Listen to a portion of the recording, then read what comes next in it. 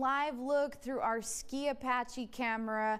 Northern New Mexico got several inches of snow in some areas since last night. And as you can see, all the El Pasoans that headed to Ruidoso for the weekend are enjoying a real winter wonderland. Well, Santa Fe and surrounding areas got a few inches of snow as well, as you can see. Wow, that looks pretty amazing. Uh, luckily for us, we're not seeing that here in El Paso, but you can see that snow sort of moving away from the area, but we're definitely feeling some of that cold air uh, from the storm system. Now, our almanac for today, 65 degrees, but it did feel a bit chillier because of those winds that were blowing in the morning and throughout the day uh, and some gusty winds. So 41 degrees was our low overnight. We're going to get a bit cooler tonight. Right now, 54 degrees here in El Paso, 9 miles per hour winds measured at the El Paso airport. Over in Las Cruces, of course, chillier, 47 degrees, 13 miles per hour and a bit gusty there, 17 miles per hour gusts in Las Cruces. Let's look at those temperatures across the region. In Deming, 47, 33 in Silver City, 38 in T or C, 45 Alamogordo, in Cloudcroft, 25. Look at that. Ruidoso 32 degrees. So super, super cold over there.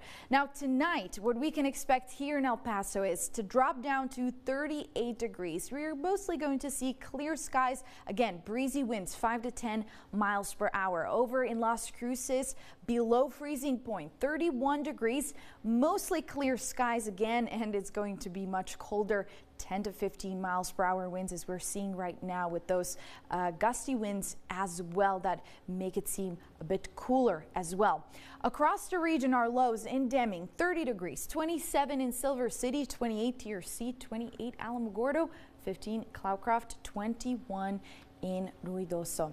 Now, let's take a look at something else, not that, kind of snuck up on me. All right, our highs for tomorrow, it's going to be 59 degrees. So we're dropping a few degrees. 54 in Las Cruces, 56 Deming, 49 Silver City, 50 T or C, 52 Alamogordo, 33 Cloudcroft, and 44 degrees in Ruidoso.